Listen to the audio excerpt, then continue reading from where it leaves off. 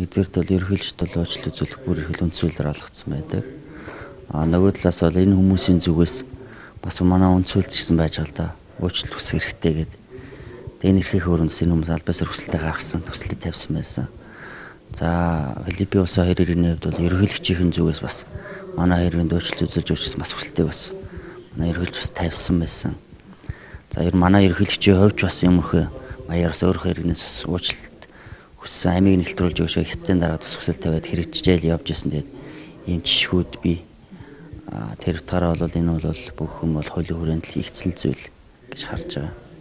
А нөгөө талаасаа ер нь яг хуу бидний хувьд бол барьж байгаа нэг бас бодлого бол ер нь татвараас зайлсхийсэн эргээр хүнийг барьж байгаа заавал 20 гэдэг үл тийм зөв зөвтэй шийдэл биш гэсэн тийм бодолтой. Татвараас зайлсхийсэн хүмүүсийг татврыг заавал төлөвлөх хэрэгтэй. Энэ бол зарчим. Татвараас зайлсхийчээ тэр чигт явдаг үйлчлэхгүй. А гэхдээ барьж яв шоронд тарж байгаа чинь хинж дотроо төлөхгүй. Тэгэхээр тухайн компанид, тухайн иргэнд энэ бол хинж тохиолдож болно шүү дээ. Бидний хинж гэж болно. Ер нь аж ахуй үйл ажиллагаа эрхэлж байгаа бизнес хийж байгаа Монгол улсын иргэн, гадаад иргэн, Монгол хөрөнгө оруулж байгаа хүмүүс бүгдээр нь хамаатай зүйл.